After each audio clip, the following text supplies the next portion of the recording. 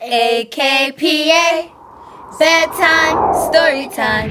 AKPA, bedtime story time. Buenas noches chicos y chicas, bienvenidos una vez más al AKPA Hora del Cuento antes de dormir. Espero que como siempre estén muy cómodos en su cama y listos para escuchar una de otras de mis favoritas. Esta historia se titula la gallinita roja. La gallinita roja es escrita por Carol Ottolenghi y es ilustrada por Reggie Holiday. La historia dice así. Había una vez una gallinita roja que vivía en una granja con un perro, un cerdo y una vaca. La gallinita roja trabajaba mucho todos los días, pero sus amigos eran muy perezosos. Dormían bajo el sol y observaban a la gallinita roja trabajar. Un día la gallinita roja encontró unos granos de trigo.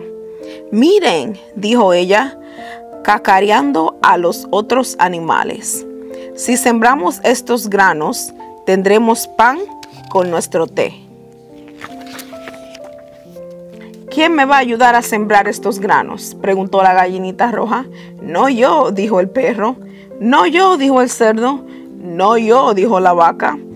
La gallinita roja suspiró.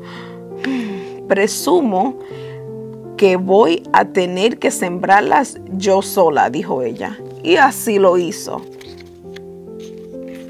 Durante todo el verano, la gallinita roja regó y deshiervó el trigo.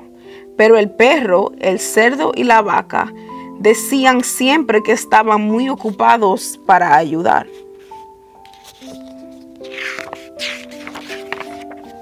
Hacia el final del verano, el trigo estaba alto y dorado. Estaba listo para cortar y trillar. ¿Quién me va a ayudar a cortar y trillar el trigo? preguntó la gallinita roja.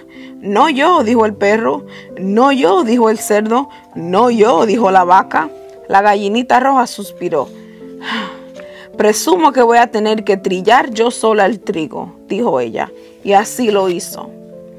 Cortó el trigo con su pico afilado, entonces lo ató en haces y lo sacudió desprendiendo todos los granos.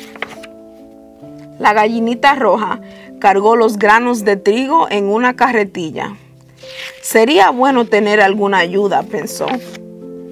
¿Quién me va a ayudar a llevar los granos de trigo al molino? preguntó la gallinita roja. No yo, dijo el perro. No yo, dijo el cerdo. No yo, dijo la vaca. La gallinita roja suspiró. Presumo que voy a tener que llevarlos yo sola, dijo ella. Y así lo hizo. En el molino, el molinero colocó los granos entre las ruedas del molino. Las ruedas dieron vueltas y más vueltas, moliendo los granos y convirtiéndolos en harina en polvo. El camino de regreso a la granja era muy largo y la carretilla estaba pesada. Pero imaginándose el riquísimo sabor del pan recién horneado, la gallinita roja se olvidó de sus cansadas alas. Cuando regresó a la granja, la gallinita roja les preguntó a todos los otros animales, ¿quién me va a ayudar a hornear unos panes? No yo, dijo el perro. No yo, dijo el cerdo. No yo, dijo la vaca. La gallinita roja suspiró. Presumo que voy a tener que hornearlos yo sola, dijo ella, y así lo hizo. La gallinita roja hizo la masa y puso a hornear en el horno. Pronto un delicioso aroma llenó el patio de la granja. La gallinita roja sacó el pan perfectamente horneado del horno. Estaba crujiente y tenía un color marrón dorado. Ahora, ¿quién me va a ayudar a comer el pan? preguntó la gallinita roja a los otros animales. Yo, dijo el perro. Yo, dijo el cerdo. Yo, dijo la vaca.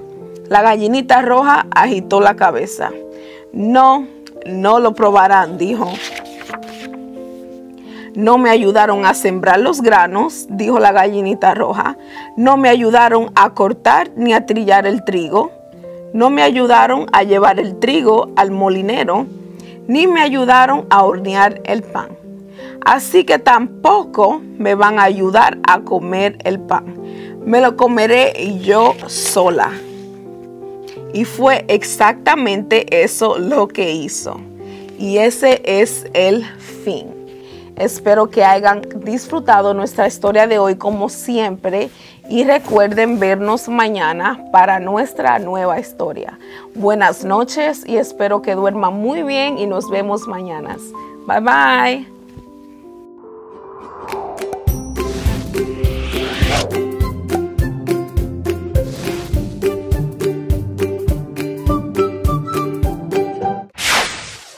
AKPA Bedtime Story Time.